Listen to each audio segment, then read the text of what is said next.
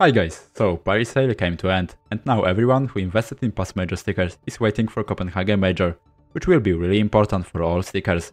But there is one thing that is getting momentum, and can damage really bad the investments, which a lot of people seems to be doing right now. And this thing is the Falcons team. So today I'm gonna tell you why you should be more interested with following what is going on with that team, as it can change some of your investments. Okay, so Team Falcons is an organization which was founded in 2020, until RMR to Paris didn't get much publicity. But at RMR in that team we could see an absolute legend of CSGO, which is Kenny S. But even though they haven't made it to the Paris. But now we know that Falcons wants to create a team for Copenhagen Major, which would destroy it. Because recently they were trying to acquire NiKo, which was very close to happening. And also they were reaching for m0NESY and for some FaZe players. But how team which basically came from nowhere have money for biggest CS stars? And answer is pretty simple. This team is located in Saudi Arabia. So for sure we know that they have money, and I think they can succeed and get some good players.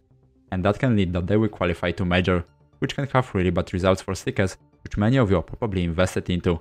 And I mean Imperial from Antwerp and Entropiq from Stockholm, which in common have that they are green.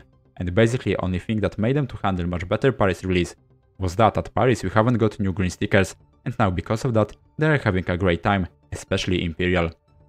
But if Falcons will get a new stickers at Copenhagen, I think it can damage both of them really badly, especially if Copenhagen stickers will be good, or even worse, transparent.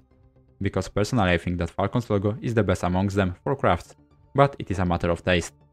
So basically Falcons are team that have money to get good players, and if they will get good players, they will most likely receive new stickers at future major, and if so it will damage passive Entropiq and Imperial investments. As this one's fans will be great, as at Paris we haven't got any alternative. And I think that is everything for today. Thank you all for watching, and see you in the next one.